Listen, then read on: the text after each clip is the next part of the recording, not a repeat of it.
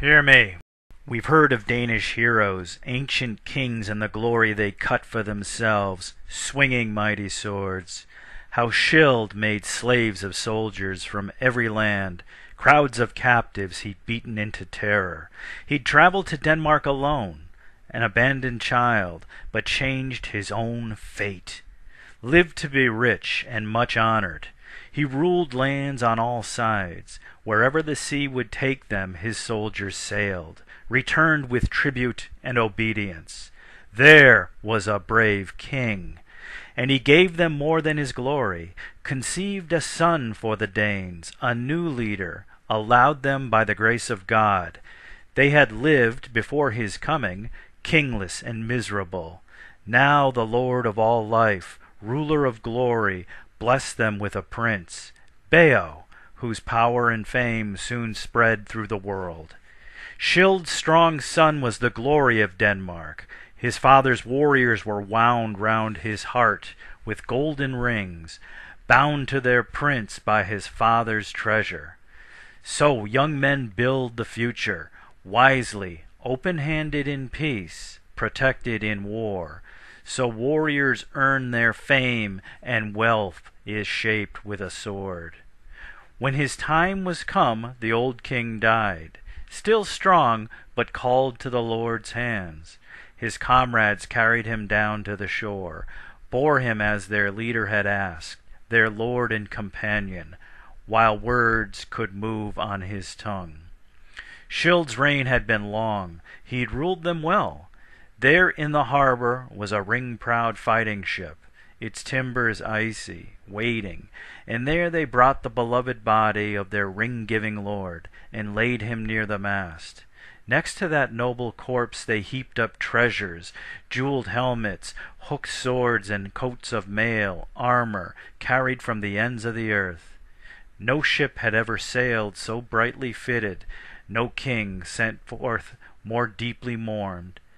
Forced to set him adrift, floating as far as the tide might run, they refused to give him less from their hoards of gold than those who'd shipped him away, an orphan and a beggar to cross the waves alone.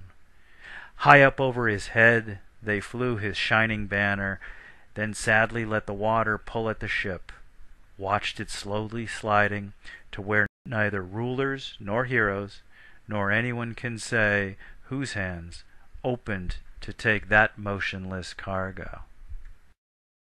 Then Beo was king in that Danish castle, Scyld's son ruling as long as his father, and as loved, a famous lord of men, and he in turn gave his people a son, the great Healfdene, a fierce fighter who led the Danes to the end of his long life, and left them four children, three princes to guide them in battle, Hergar and Hrothgar and Halga the Good, and one daughter, Yrsa, who was given to Onela, king of the Swedes, and became his wife and their queen.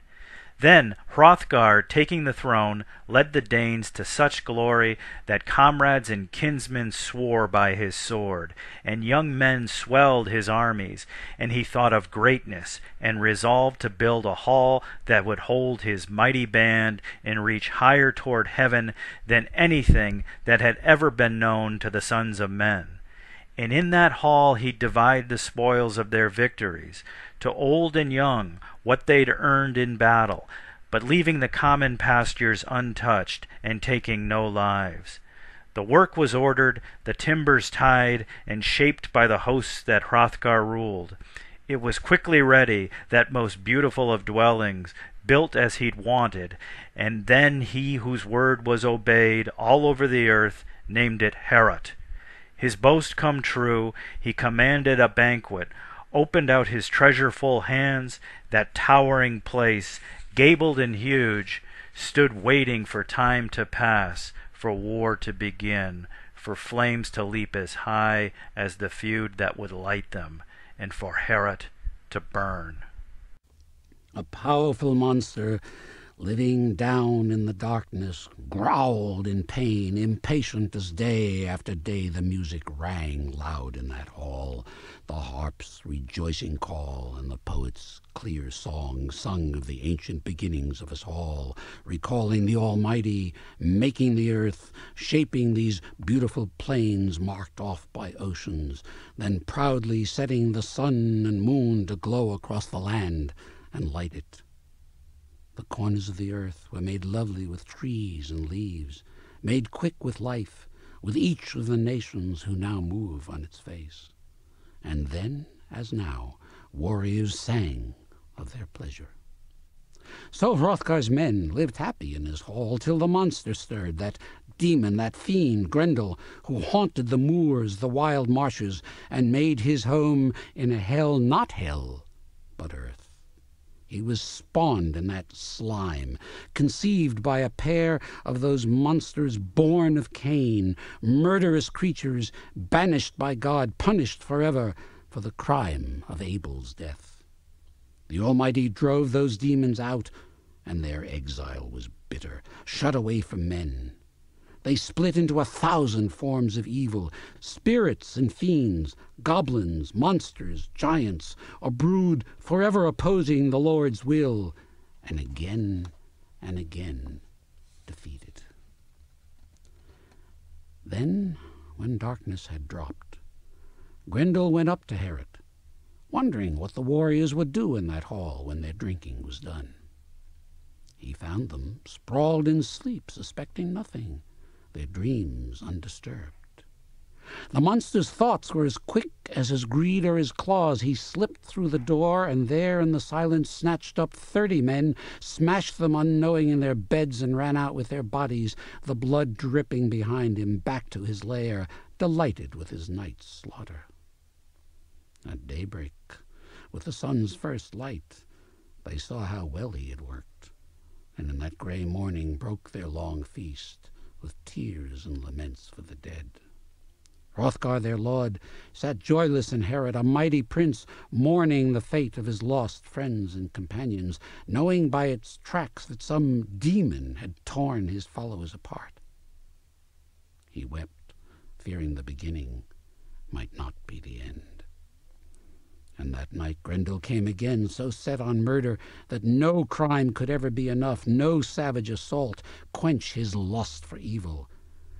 Then each warrior tried to escape him, searched for rest in different beds as far from Heorot as they could find, seeing how Grendel hunted when they slept.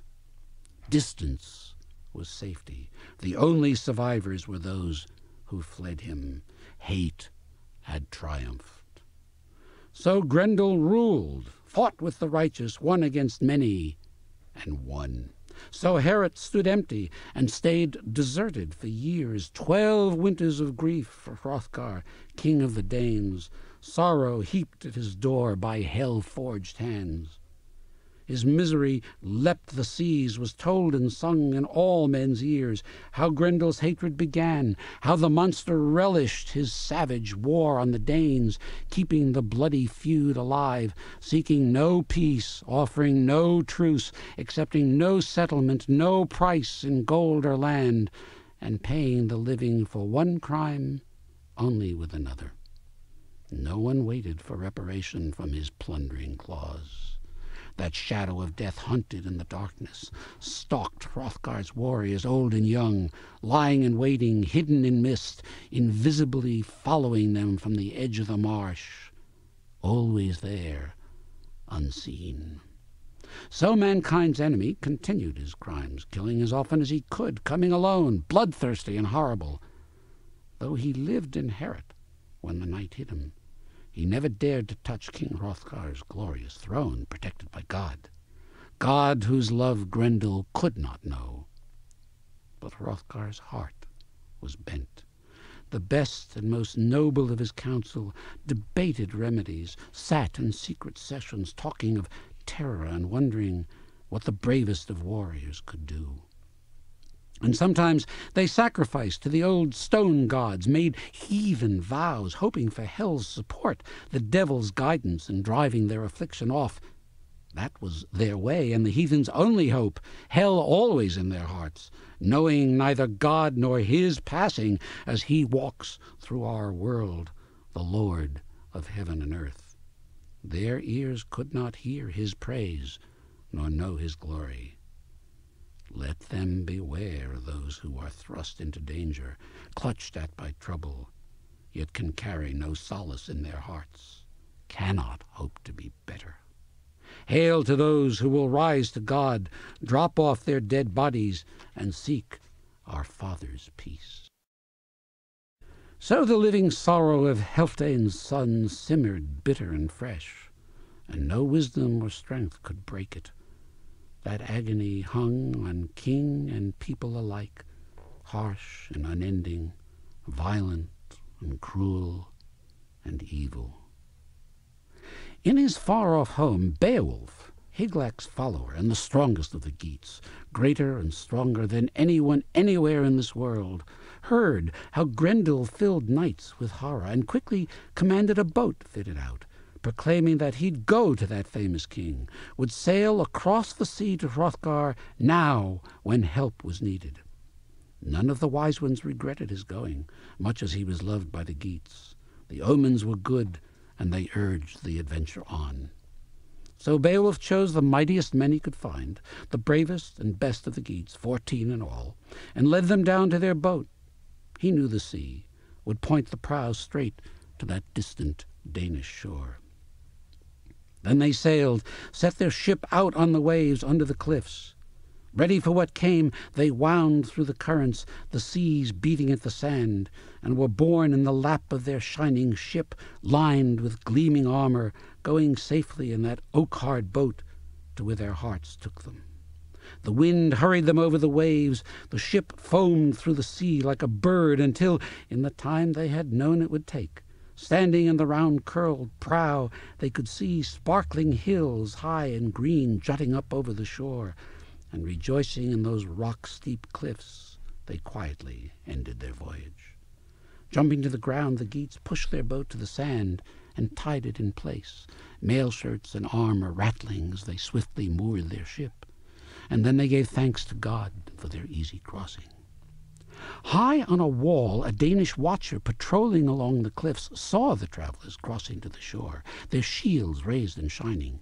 He came riding down, Hrothgar's lieutenant, spurring his horse, needing to know why they'd landed these men in armor. Shaking his heavy spear in their faces, he spoke.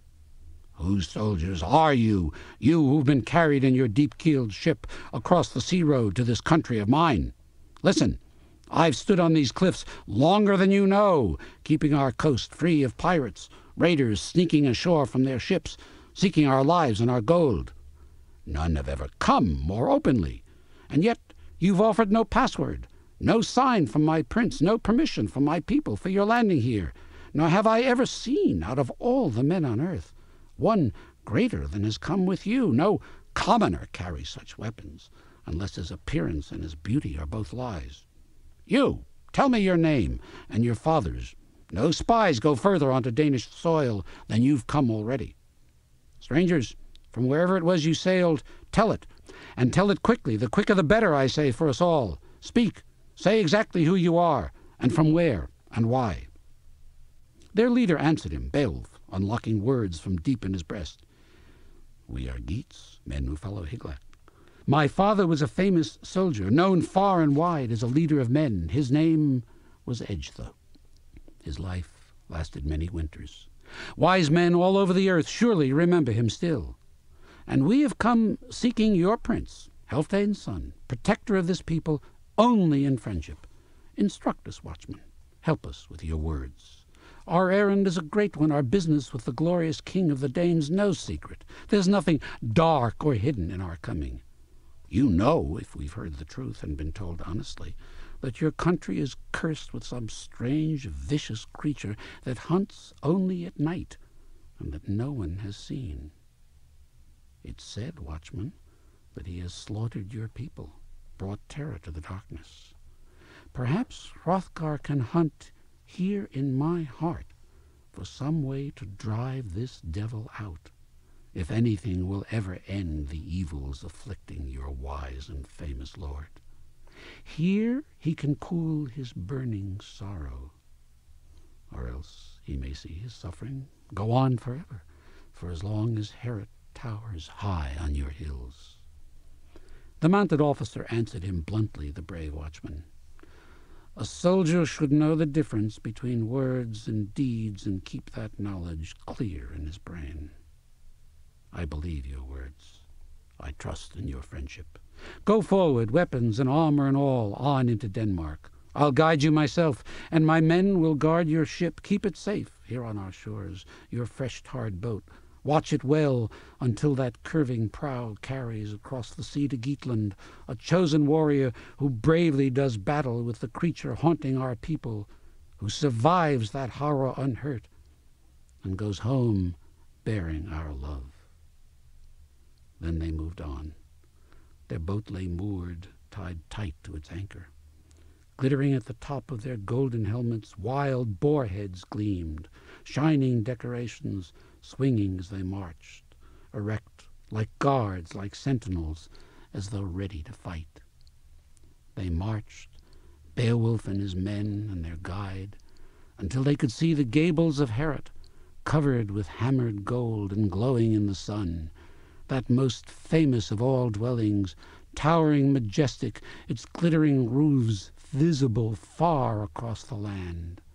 Their guide reined in his horse, pointing to that hall built by Hrothgar for the best and bravest of his men. The path was plain. They could see their way. And then he spoke. Now I must leave you. May the Lord our God protect your coming and going. The sea is my job, keeping these coasts free of invaders, bands of pirates. I must go back. The path he'd shown them was paved, cobbled, like a Roman road. They arrived with their mail shirts glittering, silver shining links clanking in iron song as they came. Sea weary still, they set their broad, battle hardened shields in rows along the wall, then stretched themselves on Heorot's benches. Their armor rang. Their ashwood spears stood in a line, gray tipped and straight. The Geats' war gear were honored weapons. A Danish warrior asked who they were, their names, and their fathers. Where have you carried these gold carved shields from, these silvery shirts and helmets, and those spears set out in long lines? I am Hrothgar's herald and captain. Strangers have come here before, but never so freely, so bold. And you come too proudly to be exiles. Not poverty, but your heart's high courage has brought you to Hrothgar. He was answered by a famous soldier, the Geats' proud prince. We follow Hygelac, break bread at his side. I am Beowulf. My errand is for Healfdene's great son to hear, your glorious lord. If he chooses to receive us, we will greet him, salute the chief of the Danes, and speak out our message. Wulfgar replied, a prince born to the Swedes, famous for both strength and wisdom.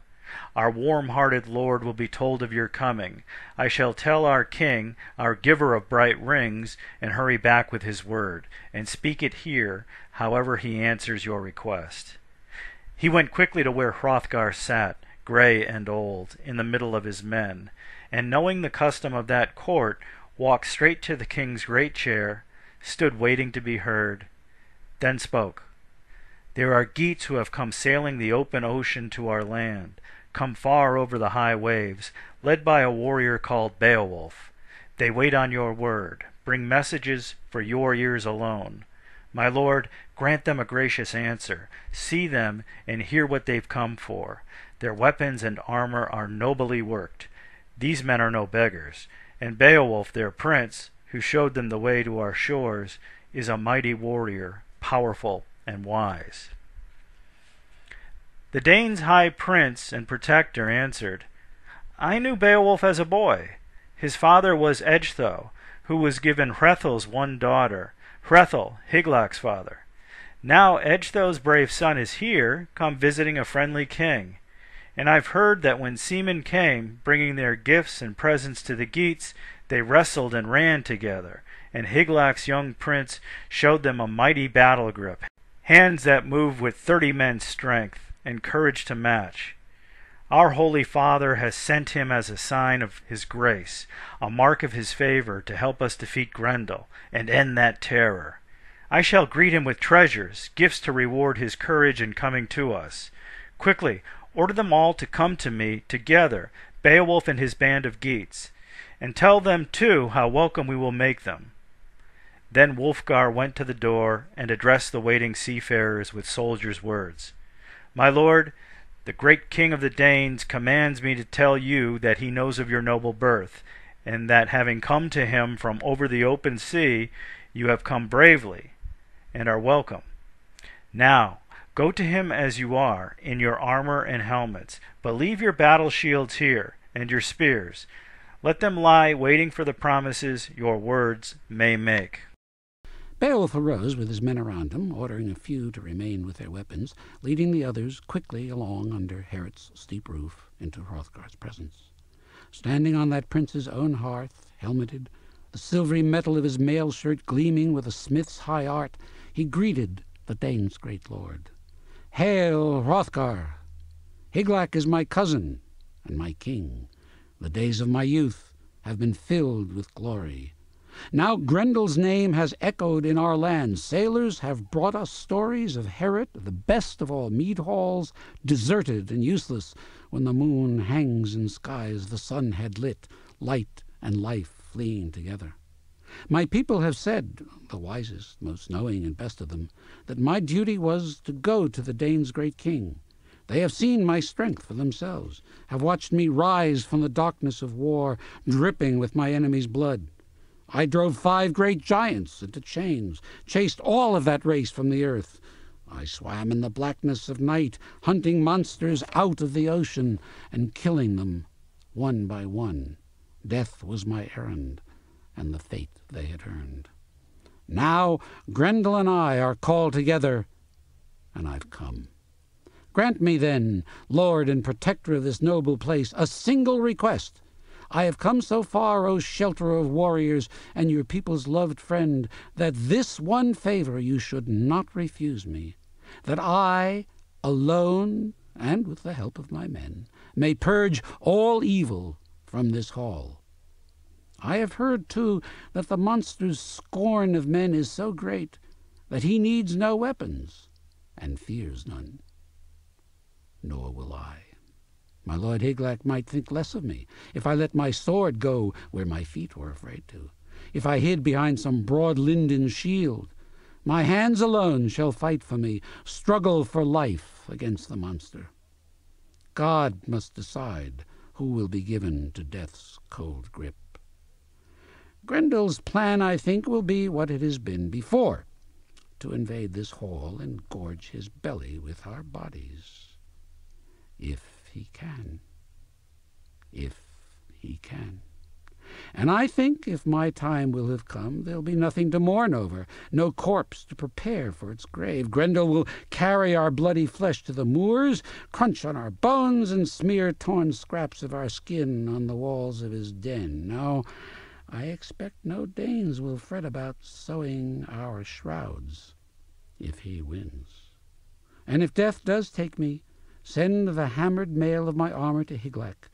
Return the inheritance I had from Hrethel, and he from Wayland.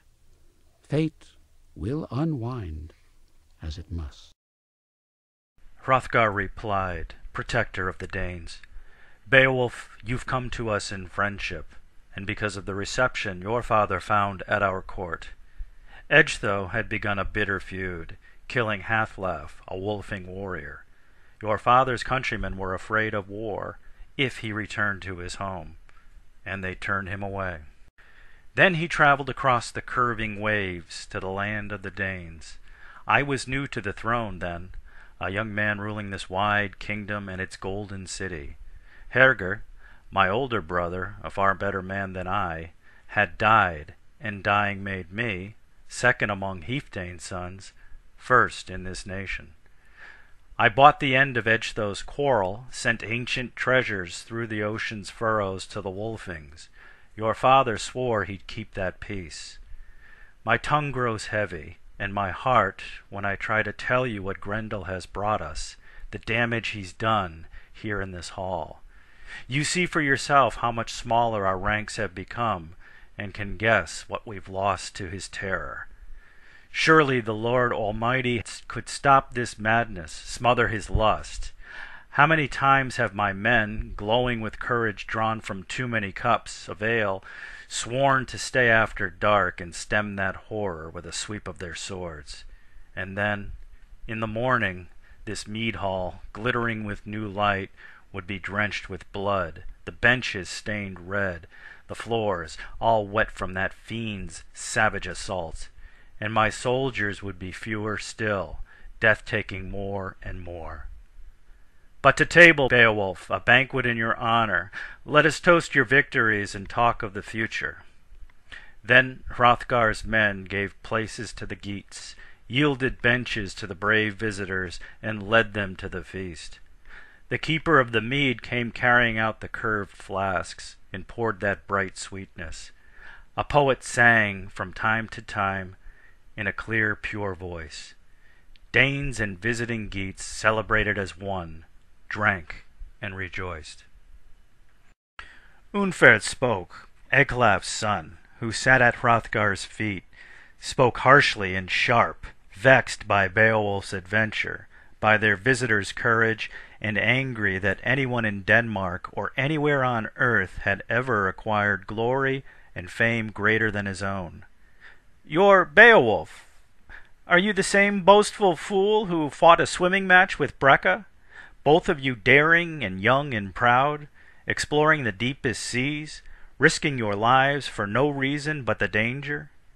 All older and wiser heads warned you not to, but no one could check such pride. With Breca at your side, you swam along the sea paths, your swift moving hands pulling you over the ocean's face. Then winter churned through the water, the waves ran you as they willed, and you struggled seven long nights to survive. And at the end, victory was his, not yours. The sea carried him close to his home, to southern Norway, near the land of the Brondings, where he ruled and was loved, where his treasure was piled, and his strength protected his towns and his people. He'd promised to outswim you. Bronston's son made that boast ring true. You've been lucky in your battles, Beowulf, but I think your luck may change if you challenge Grendel. Staying a whole night through in this hall, waiting where that fiercest of demons can find you? Beowulf answered, Ecgtheow's great son, Ah, Unferth, my friend, your face is hot with ale, and your tongue has tried to tell us about Breca's doings. But the truth is simple. No man swims in the sea as I can. No strength is a match for mine. As boys, Breca and I had boasted, we were both too young to know better, that we'd risk our lives far out at sea, and so we did.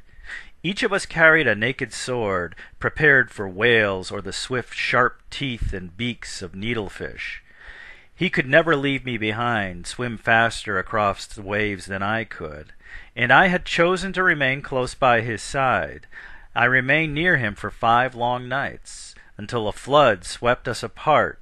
The frozen sea surged around me. It grew dark, the wind turned bitter, blowing from the north, and the waves were savage. Creatures who sleep deep in the sea were stirred into life, and the iron hammered links of my mail shirt, these shiny bits of metal woven across my breast, saved me from death. A monster seized me, drew me swiftly toward the bottom, swimming with its claws tight in my flesh. But fate let me find its heart with my sword, hack myself free. I fought the beast's last battle, left it floating lifeless in the sea.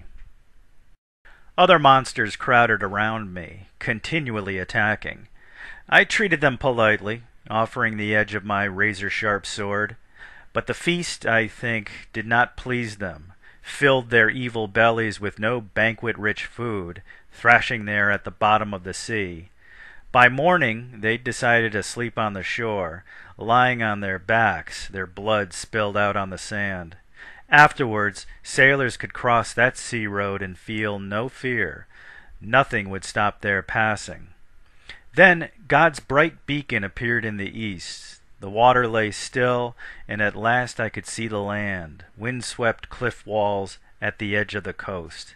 Fate saves the living when they drive away death by themselves. Lucky or not, nine was the number of sea huge monsters I killed. What man anywhere under heaven's high arch has fought in such darkness, endured more misery, or been harder pressed? Yet I survived the sea, smashed the monster's hot jaws, swam home from my journey, the swift flowing waters swept me along, and I landed on Finnish soil. I've heard no tales of you, Unferth, telling of such clashing terror, such contests in the night. Brecca's battles were never so bold. Neither he nor you can match me, and I mean no boast, have announced no more than I know to be true. And there's more. You murdered your brothers, your own close kin. Words and bright wit won't help your soul. You'll suffer hell's fires, Unferth, forever tormented. Ecglaf's proud son, if your hands were as hard as your heart, as fierce as you think it, no fool would dare to raid your hall, ruin Heorot, and oppress its prince, as Grendel has done. But he's learned that terror is his alone, discovered he can come for your people with no fear of reprisal. He's found no fighting here, but only food, only delight. He murders as he likes, with no mercy, gorges and feasts on your flesh, and expects no trouble, no quarrel from the quiet Danes. Now the Geats will show him courage. Soon he can test his strength in battle. And when the sun comes up again, opening another bright day from the south, anyone in Denmark may enter this hall. That evil will be gone. Hrothgar, gray-haired and brave, sat happily listening. The famous ring-giver sure, at last, that Grendel could be killed. He believed in Beowulf's bold strength and the firmness of his spirit. There was a sound of laughter and the cheerful clanking of cups and pleasant words. Then Wealhtheow, Hrothgar's gold ring queen, greeted the warriors. A noble woman who knew what was right, she raised a flowing cup to Hrothgar first, holding it high for the lord of the Danes to drink, wishing him joy in that feast. The famous king drank with pleasure and blessed their banquet. Then Wealhtheow went from warrior to warrior, pouring a portion of the jeweled cup for each, till the bracelet-wearing queen had carried the mead cup among them, and it was Beowulf's turn to be served.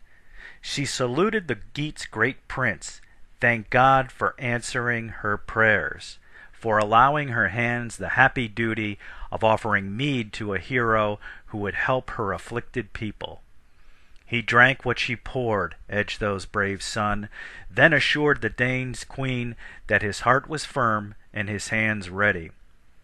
When we crossed the sea, my comrades and I, I already knew that all my purpose was this to win the good will of your people or die in battle, pressed in Grendel's fierce grip. Let me live in greatness and courage, or here in this hall welcome my death. Wealhtheow was pleased with his words, his bright tongue boasts. She carried them back to her lord, walked nobly across to his side. The feast went on, laughter and music and the brave words of warriors celebrating their delight. Then Hrothgar rose, Healfdene's son, heavy with sleep. As soon as the sun had gone, he knew that Grendel would come to Heorot, would visit that hall when night had covered the earth with its net and the shapes of darkness moved black and silent through the world. Hrothgar's warriors rose with him. He went to Beowulf, embraced the Geats' brave prince, wished him well, and hoped that Heorot would be his to command. And then he declared, No one strange to this land has ever been granted what I've given you. No one in all the years of my rule Make this best of all mead halls yours, and then keep it free of evil. Fight with glory in your heart. Purge Heorot, and your ship will sail home with its treasure holds full. Then Hrothgar left that hall, the Danes' great protector, followed by his court. The queen had preceded him, and he went to lie at her side, seek sleep near his wife. It was said that God himself had set a sentinel in Heorot, brought Beowulf as a guard against Grendel, and a shield behind whom the king could safely rest. And Beowulf was ready, firm with our Lord's high favor and his own bold courage and strength. He stripped off his mail shirt, his helmet, his sword hammered from the hardest iron, and handed all his weapons and armor to a servant, ordered his war gear guarded till morning. And then, standing beside his bed, he exclaimed, Grendel is no braver, no stronger than I am. I could kill him with my sword. I shall not, easy as it would be. This fiend is a bold and famous fighter, but his claws and teeth, scratching at my shield, his clumsy fists beating at my sword blade, would be helpless. I will meet him with my hands empty, unless his heart fails him, seeing a soldier waiting weaponless, unafraid. Let God, in his wisdom, extend his hand where he wills, reward whom he chooses. Then the Geats' great chief dropped his head to his pillow, and around him, as ready as they could be, lay the soldiers who had crossed the sea at his side, each of them sure that he was lost to the home he loved, to the high walled towns and the friends he had left behind, where both he and they had been raised. Each thought of the Danes murdered by Grendel in a hall where Geats and not Danes now slept. But God's dread loom was woven with defeat for the monster, good fortune for the Geats. Help against Grendel was with them, and through the might of a single man they would win. Who doubts that God in his wisdom and strength holds the earth forever in his hands? Out in the darkness the monster began to walk. The warriors slept in that gabled hall where they had hoped that he would keep them safe from evil guard them from death till the end of their days was determined and the thread should be broken. But Beowulf lay wakeful, watching, waiting, eager to meet his enemy, and angry at the thought of his coming. Out from the marsh, from the foot of misty hills and bogs, bearing God's hatred, Grendel came hoping to kill anyone he could trap on this trip to High Heorot. He moved quickly through the cloudy night, up from his swampland, sliding silently toward that gold-shining hall.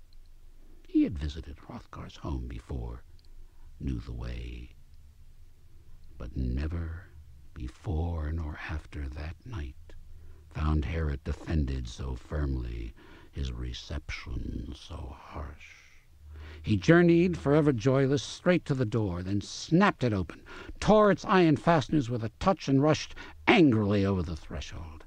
He strode quickly across the inlaid floor, snarling and fierce. His eyes gleamed in the darkness, burned with a gruesome light.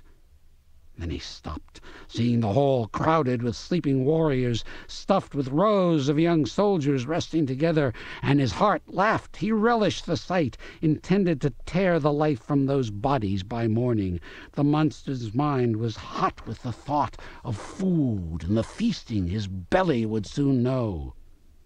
But fate that night intended Grendel to gnaw the broken bones of his last human supper. Human eyes were watching his evil steps, waiting to see his swift, hard claws. Grendel snatched at the first Geat he came to, ripped him apart, cut his body to bits with powerful jaws, drank the blood from his veins, and bolted him down hands and feet. Death and Grendel's great teeth came together, snapping life shut. Then he stepped to another still body, clutched at Beowulf with his claws grasped at a strong-hearted, wakeful sleeper, and was instantly seized himself, claws bent back as Beowulf leaned up on one arm.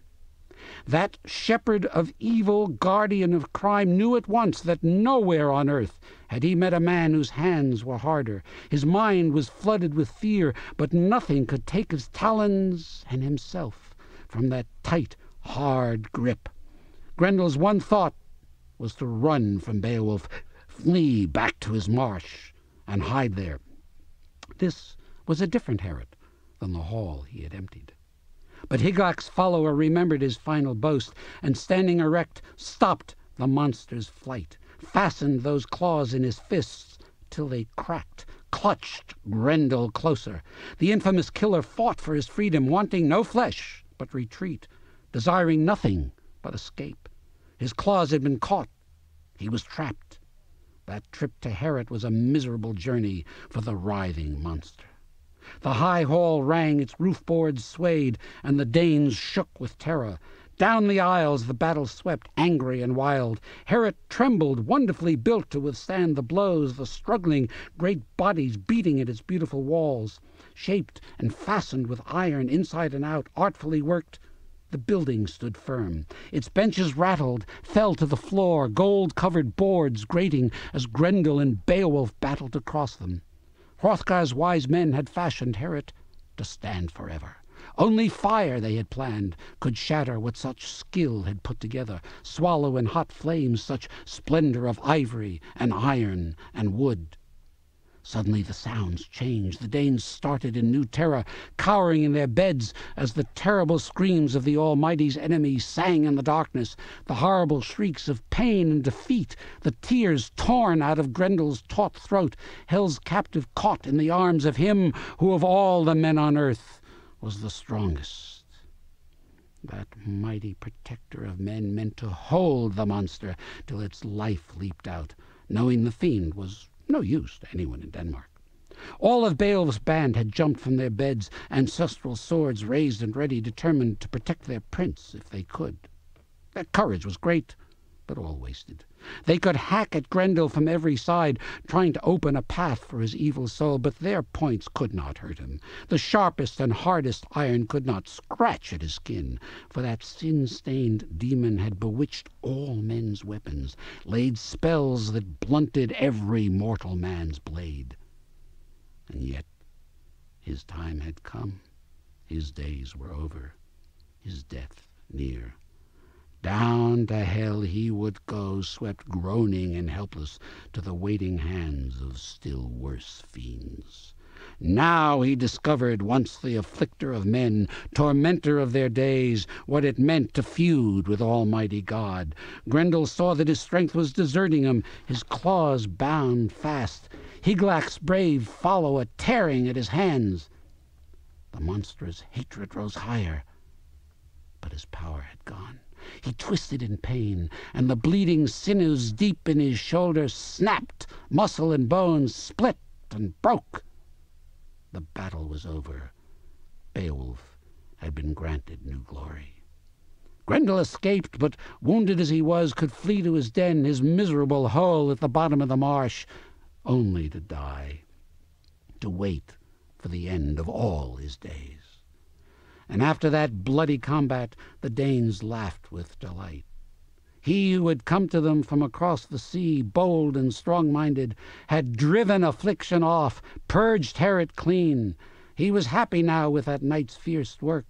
The Danes had been served as he'd boasted he'd serve them. Beowulf, a prince of the Geats, had killed Grendel, ended the grief, the sorrow, the suffering forced on Hrothgar's helpless people by a bloodthirsty fiend. No Dane doubted the victory, for the proof, hanging high from the rafters where Beowulf had hung it, was the monster's arm, claw, and shoulder, and all. And then, in the morning, crowds surrounded Heorot, warriors coming to that hall from faraway lands princes and leaders of men hurrying to behold the monster's great staggering tracks. They gaped with no sense of sorrow, felt no regret for his suffering, went tracing his bloody footprints, his beaten and lonely flight, to the edge of the lake, where he dragged his corpse-like way, doomed and already weary of his vanishing life. The water was bloody, steaming and boiling in horrible pounding waves heat sucked from his magic veins. But the swirling surf had covered his death. hidden deep in murky darkness, his miserable end as hell opened to receive him. Then old and young rejoiced, turned back from that happy pilgrimage, mounted their hard hooved horses, high spirited stallions, and rode them slowly toward Heorot again, retelling Beowulf's bravery as they jogged along. And over and over they swore that nowhere on earth or under the spreading sky or between the seas, neither south nor north, was there a warrior worthier to rule over men. But no one meant Beowulf's praise to belittle Hrothgar, their kind and gracious king. And sometimes, when the path ran straight and clear, they would let their horses race, red and brown and pale yellow backs streaming down the road. And sometimes a proud old soldier who had heard songs of the ancient heroes and could sing them all through, story after story, would weave a net of words for Beowulf's victory, tying the knot of his verses smoothly, swiftly into place with a poet's quick skill, singing his new song aloud while he shaped it, and the old songs as well, Siegmund's adventures, familiar battles fought by that glorious son of Wels, and struggles too against evil and treachery that no one had ever heard of, that no one knew except Fitela, who had fought at his uncle's side, a brave young comrade, carefully listening when Siegmund's tongue unwound the wonders he had worked, confiding in his closest friend. They were tales of giants wiped from the earth by Siegmund's might, and forever remembered fame that would last him beyond life and death, his daring battle with a treasure-rich dragon. Heaving a hoary gray rock aside, Siegmund had gone down to the dragon alone, entered the hole where it hid, and swung his sword so savagely that it slit the creature through, pierced its flesh, and pinned it to a wall, hung it where his bright blade rested. His courage and strength had earned him a king-like treasure, brought gold and rich rings to his glorious hands. He loaded that precious hoard on his ship and sailed off with a shining cargo and the dragon dissolved in its own fierce blood. No prince, no protector of his warriors knew power and fame and glory like Siegmund's. His name and his treasures grew great. Hermod could have hoped for at least as much. He was once the mightiest of men, but pride and defeat and betrayal sent him into exile with the Jutes, and he ended his life on their swords. That life had been misery after misery, and he spread sorrow as long as he lived it, heaped troubles on his unhappy people's heads, ignored all wise men's warnings, ruled only with courage. A king born, and trusted with ancient treasures and cities full of strong-hearted soldiers, his vanity swelled him so vile and rank that he could hear no voice but his own. He deserved to suffer and die. But Beowulf was a prince well loved, followed in friendship, not fear. Hermod's heart had been hollowed by sin. The horses ran, when they could, on the gravel path. Morning slid past and was gone. The whole brave company came riding to Heorot, anxious to celebrate Beowulf's success and stare at that arm. And Hrothgar rose from beside his wife and came with his courtiers, crowded around him. And Wealhtheow rose and joined him, his wife and queen with her women, all of them walking to that wonderful hall.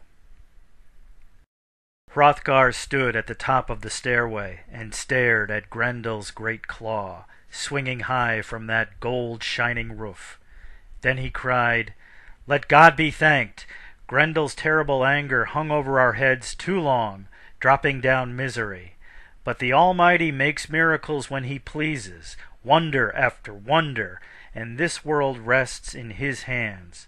I had given up hope, exhausted prayer, expected nothing but misfortune forever. Heorot was empty, bloody.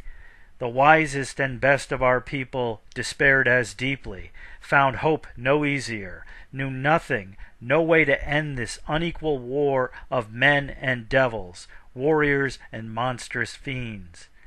One man found it, came to Denmark and with the Lord's help did what none of the Danes could do. Our wisdom, our strength worthless without him. The woman who bore him, whoever, wherever, alive now or dead, knew the grace of the God of our fathers was granted a son for her glory and his. Beowulf, best of soldiers, let me take you to my heart, make you my son too, and love you. Preserve this passionate peace between us, and take in return whatever you may want from whatever I own. Warriors deserving far less have been granted as much, given gifts and honored, though they fought no enemy like yours. Glory is now yours forever and ever. Your courage has earned it, and your strength. May God be as good to you forever as he has been to you here. Then Beowulf answered, What we did was what our hearts helped our hands to perform. We came to fight with Grendel, our strength against his. I wish I could show you, here in Heorot, his corpse stretched on this floor. I twisted my fingers around his claw, ripped and tore at it as hard as I could. I meant to kill him right here, hold him so tightly that his heart would stop, would break, his life spill on this floor. But God's will was against me. As hard as I held him, he still pulled free and ran, escaped from this hall with the strength fear had given him. But he offered me his arm and his claw, saved his life, yet left me that prize and paying even so willingly for his freedom, he still fled with nothing but the end of his evil days, ran with death pressing at his back, pain splitting his panicked heart, pulling him step by step into hell. Let him burn in torment, lying and trembling, waiting for the brightness of God to bring him his reward. Unferth grew quiet gave up quarreling over Beowulf's old battles, stopped all his boasting once everyone saw proof of that prince's strength, Grendel's huge claw swinging high from Hrothgar's mead hall roof, the fingers of that loathsome hand ending in nails as hard as bright steel.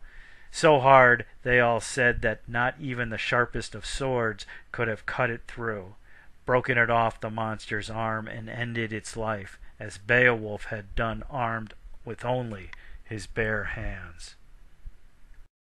Then the king ordered Heorot cleaned and hung with decorations. Hundreds of hands, men and women, hurried to make the great hall ready. Golden tapestries were lined along the walls for a host of visitors to see and take pleasure in. But that glorious building was bent and broken, its iron hinges cracked and sprung from their corners all around the hall. Only its roof was undamaged when the blood-stained demon burst out of Heorot, desperately breaking Beowulf's grip, running wildly from what no one escapes, struggle and writhe as he will. Wanting to stay, we go, all beings here on God's earth, wherever it is written that we go, taking our bodies from death's cold bed to the unbroken sleep that follows life's feast.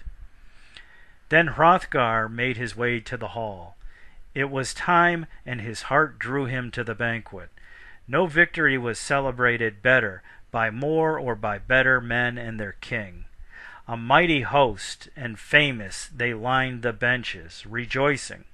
The king and Hrothulf, his nephew, toasted each other, raised mead cups high under Heorot's great roof, their speech courteous and warm.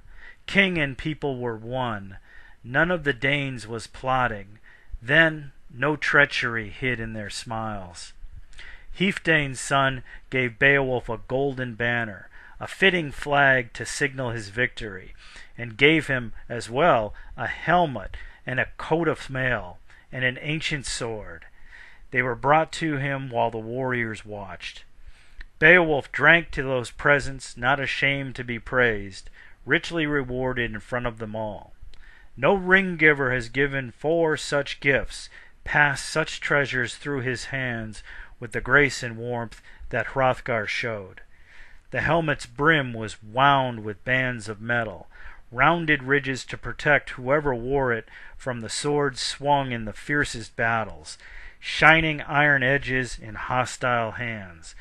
And then the protector of warriors, lord of the Danes, ordered eight horses led to the hall, and into it eight steeds with golden bridles. One stood with a jeweled saddle on his back, carved like the king's war seat it was. It had carried Hrothgar when that great son of Healfdene rode to war, and each time carried him wherever the fighting was most fierce and his followers had fallen. Then Beowulf had been honored by both the gifts Hrothgar could have given him, horses and weapons. The king commanded him to use them well. Thus that guardian of Denmark's treasures had repaid a battle fought for his people, by giving noble gifts, had earned praise for himself from those who try to know truth. And more, the Lord of Heorot ordered treasure gifts for each of the Geats who'd sailed with Beowulf and still sat beside him, ancient armor and swords, and for the one murdered by Grendel, gold was carefully paid.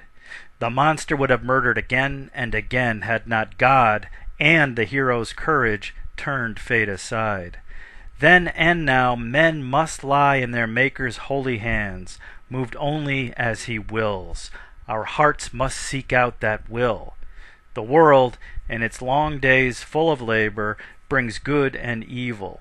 All who remain here meet both. Hrothgar's hall resounded with the harp's high call, with songs and laughter and the telling of tales, stories sung by the court poet as the joyful Danes drank and listened, seated among their mead benches. He told them of Finn's people, attacking Hnaf with no warning, half wiping out that Danish tribe and killing its king. Finn's wife, Hnaf's sister, learned what good faith was worth to her husband. His honeyed words and treachery cost her two beloved lives, her son and her brother, both falling on spears guided by fate's hand. How she wept! And when morning came, she had reason to mourn, to weep for her dead, her slaughtered son, and the bloody corpse of his uncle, both the men she most dearly loved, and whose love she could trust to protect her. But Finn's troops, too, had fallen to Danish spears. Too few were left to drive the Danes to their death, to force Hnaf's follower, Hengist, to flee the hall where they'd fought and he'd stayed. Finn offered them, instead of more war, words of peace. There would be no victory. They'd divide the hall and the throne, half to the Danes, half to Finn's followers. When gifts were given, Finn would give Hengist and his soldiers half, share shining rings, silver and gold, with the Danes, both sides equal, all of them richer, all of their purses heavy, every man's heart warm with the comfort of gold. Both sides accepted peace and agreed to keep it. Finn swore it with solemn oaths. What wise men had written was his word as well as theirs. He and the brave Hengist would live like brothers. Neither leader nor led would break the truce, would not talk of evil things, remind the Danes that the man they served killed Hnaf, their lord. They had no king and no choice. And he swore that his sword would silence wagging tongues if Frisian warriors stirred up hatred, brought back the past. A funeral pyre was prepared, and gold was brought. Hnaf's dead body was dressed for burning, and the others with him. Bloody mail shirts could be seen, and golden helmets, some carved with boar heads, all battle hard, and as useless now as the corpses that still wore them soldier after soldier. Then Hnaf's sister, Finn's sad wife, gave her son's body to be burned in that fire. The flames charring his uncle would consume both kinsmen at once. Then she wept again, and weeping sang the dead's last praise. The Danish king was lifted into place, smoke went curling up, logs roared, open wounds split and burst, skulls melted, blood came bubbling down, and the greedy fire demons drank flesh and bones from the dead of both sides, until nothing was left. Finn released a few of his soldiers, allowed them to return to their distant towns and estates. Hengist lived the whole stormy winter through, there with Finn, whom he hated. But his heart lived in Denmark, which he and the other survivors could not visit, could not sail to, as long as the wind-whipped sea crashed and whirled, or while winter's cold hands froze the water hard, tied it in icy knots. They would wait for the new year, for spring to come following the sun, melting the old year away and reopening the ocean. Winter was over, the earth grew lovely, and Hengist dreamed of his home. But revenge came first, settling his bitter feud with Finn, whose bloody sword he could never forget. He planned, he waited, wove plans and waited. Then a Danish warrior dropped a sword in his lap, a weapon Finn and his men remembered and feared, and the time had come. And Hengist rose, hearing the Danes murmur, and drove his new sword into Finn's belly, butchering that king under his own roof. And the Danes rose, their hearts full of Finn's treachery, and the misery he'd brought them, their sword arms restless and eager. The hall they'd shared with their enemies ran red with enemy blood, and bodies rolled on the floor beside Finn. They took the queen, looted everything they could find that belonged to her dead husband, loaded their ship with rings, necklaces, shining jewels wonderfully worked, and sailed, bringing treasure and a willing captive to the land she'd left and had longed for, alone no longer. The singer finished his song, his listeners laughed and drank their pleasure loud in that hall. The cupbearers hurried with their sparkling vessels, and then the queen, Wealhtheow, wearing her bright crown, appeared among them, came to Hrothgar and Hrothulf, his nephew, seated peacefully together, their friendship and Hrothulf's good faith still unbroken. And Unferth sat at Hrothgar's feet, and everyone trusted him believed in his courage, although he'd spilled his relative's blood. Then Wealhtheow spoke. Accept this cup, my lord and king. May happiness come to the Danes' great ring giver. May the Geats receive mild words from your mouth, words they have earned. Let gifts flow freely from your open hands, treasures your armies have brought you from all over the world. I have heard that the greatest of the Geats now rests in your heart like a son. Heorot stands purged, restored by his strength. Celebrate his courage, rejoice and be generous, while a kingdom sits in your palm, a people and power that death will steal. But your sons will be safe, sheltered in Hrothulf's gracious protection, if fate takes their father while Hrothulf is alive. I know your nephew's kindness. I know he'll repay in kind the goodness you have shown him. Support your two young sons as you and I sustained him in his own early days, his father dead and he but a boy. Then she walked to the bench where Hrethric and Hrothmund, her two sons, sat together. Beowulf, prince of the Geats, was seated between them. Crossing the hall, she sat quietly at their side. They brought a foaming cup and offered it to Beowulf. It was taken and given in friendship. And he was given a mail shirt and golden armbands and the most beautiful necklace known to men. Nowhere in any treasure hoard anywhere on earth was there anything like it.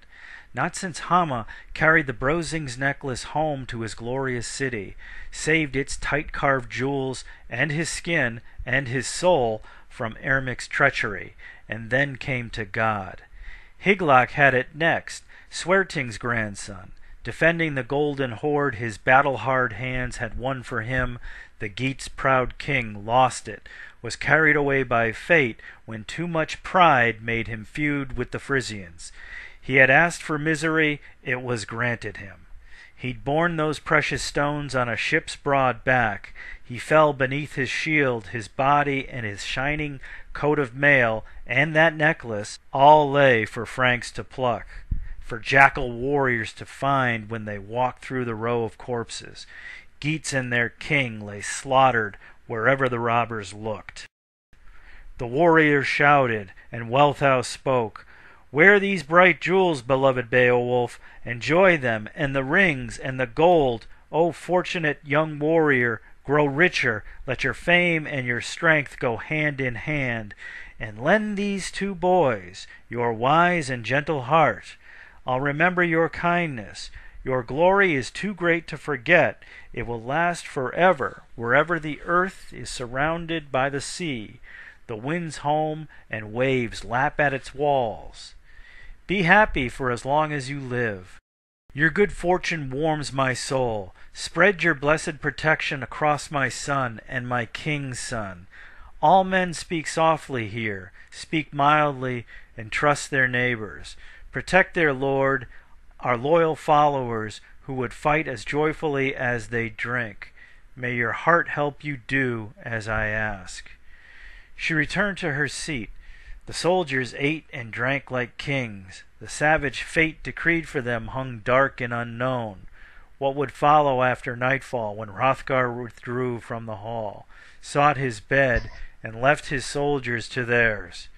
Heorot would house a host of men that night, as it had been meant to do. They stacked away the benches, spread out blankets and pillows. But those beer drinking sleepers lay down with death beside their beds. They slept with their shining shields at the edge of their pillows. The hall was filled with helmets hanging near motionless heads. Spears stood by their hands, their hammered mail shirts covered their chests. It was the Danes' custom to be ready for war wherever they rested, at home or in foreign lands, at their lord's quick call if he needed them, if trouble came to their king. They knew how soldiers must live. They sank into sleep. The price of that evening's rest was too high for the Dane who bought it with his life, paying as others had paid when Grendel inhabited Heorot, the hall his till his crimes pulled him into hell. And now it was known that a monster had died, but a monster still lived and meant revenge. She'd brooded on her loss. Misery had brewed in her heart, that female horror, Grendel's mother, living in the murky cold lake assigned her since Cain had killed his only brother, slain his father's son with an angry sword. God drove him off, outlawed him to the dry and barren desert, and branded him with a murderer's mark. And he bore a race of fiends, accursed like their father. So Grendel was drawn to Heorot, an outcast, come to meet the man who awaited him. He'd snatched at Beowulf's arm, but that prince remembered God's grace and the strength he'd given him, and relied on the Lord for all the help, the comfort and support he would need. He killed the monster, as God had meant him to do, tore the fiend apart, and forced him to run as rapidly as he could toward death's cold, waiting hands. His mother's sad heart and her greed drove her from her den on the dangerous pathway of revenge. So she reached Heorot, where the Danes slept as though already dead. Her visit ended their good fortune, reversed the bright vein of their luck. No female, no matter how fierce, could have come with a man's strength, fought with the power and courage men fight with smashing their shining swords, their bloody hammer-forged blades, onto boar-headed helmets, slashing and stabbing with the sharpest of points. The soldiers raised their shields and drew those gleaming swords, swung them above the piled-up benches, leaving their mail shirts and their helmets where they'd lain when the terror took hold of them. To save her life, she moved still faster, took a single victim, and fled from the hall, running to the moors, discovered, but her supper assured, sheltered in her dripping claws. She'd taken Hrothgar's closest friend, the man he most loved of all men on earth. She'd killed a glorious soldier, cut a noble life short. No Geat could have stopped her. Beowulf and his band had been given better beds. Sleep had come to them in a different hall.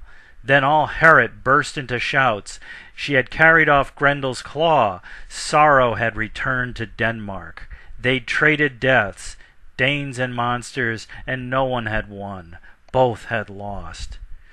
The wise old king trembled in anger and grief, his dearest friend and adviser dead. Beowulf was sent for at once. A messenger went swiftly to his rooms and brought him. He came, his band about him, as dawn was breaking through, the best of all warriors, walking to where Hrothgar sat waiting, the gray-haired king wondering if God would ever end this misery. The Geats tramped quickly through the hall, their steps beat and echoed in the silence. Beowulf rehearsed the words he would want with Hrothgar. He'd ask the Danes' great lord if all were at peace, if the night had passed quietly. Hrothgar answered him, protector of his people. There's no happiness to ask about. Anguish has descended on the Danes. Esher is dead, Ermlaf's older brother, and my own most trusted counselor and friend, my comrade when we went into battle, who'd beaten back enemy swords, standing at my side. All my soldiers should be as he was, their hearts as brave and as wise. Another wandering fiend has found him in Heorot, murdered him, fled with his corpse. He'll be eaten, his flesh become a horrible feast. And who knows where the beast may be hiding, its belly stuffed full. She's taking revenge for your victory over Grendel, for your strength, your mighty grip, and that monster's death. For years he'd been preying on my people. You came, he was dead in a single day, and now there's another one, a second hungry fiend, determined to avenge the first a monster willing and more than able to bring us more sorrow. Or so it must seem to the many men mourning that noble treasure giver. For all men were treated nobly by those hands. Now for I've heard that my people, peasants working in the fields, have seen a pair of such fiends wandering in the moors and the marshes, giant monsters living in those desert lands. And they've said to my wise men that as well as they could see, one of the devils was a female creature. The other, they say, walked through the wilderness like a man, but mightier than any man. They were frightened, and they fled, hoping to find help in Heorot. They named the huge one Grendel. If he had a father, no one knew him, or whether there'd been others before these two. Hidden evil before hidden evil they live in secret places, windy cliffs, wolf dens where water pours from the rocks, then runs underground, where mist steams like black clouds, and the groves of trees growing out over their lake are all covered with frozen spray, and wind down snake-like roots that reach as far as the water and help keep it dark. At night, that lake burns like a torch. No one knows its bottom. No wisdom reaches such depths. A deer hunted through the woods by packs of hounds, a stag with great horns, though driven through the forest from faraway places, prefers to die on those shores, refuses to save its life in that water. It isn't far, nor is it a pleasant spot. When the wind stirs and storms, waves splash toward the sky, as dark as the air, as black as the rain that the heavens weep. Our only help, again, lies with you. Grendel's mother is hidden in her terrible home, in a place you've not seen. Seek it, if you dare. Save us once more, and again twisted gold, heaped up ancient treasure will reward you for the battle you win. Beowulf spoke. Let your sorrow end. It is better for us all to avenge our friends, not mourn them forever. Each of us will come to the end of this life on earth. He who can earn it should fight for the glory of his name. Fame after death is the noblest of goals. Arise, guardian of this kingdom. Let us go as quickly as we can and have a look at this lady monster. I promise you this She'll find no shelter, no hole in the ground, no towering tree, no deep bottom of a lake where her sins can hide. Be patient for one more day of misery. I ask for no longer. The old king leaped to his feet, gave thanks to God for such words. Then Hrothgar's horse was brought, saddled and bridled. The Danes' wise ruler rode, stately and splendid. Shield-bearing soldiers marched at his side. The monster's tracks led them through the forest. They followed her heavy feet that had swept straight across the shadowy wasteland. her burden the lifeless body of the best of Hrothgar's men. The trail took them up towering rocky hills and over narrow winding paths they had never seen, down steep and slippery cliffs where creatures from deep in the earth hid in their holes. Hrothgar rode in front with a few of his most knowing men to find their way.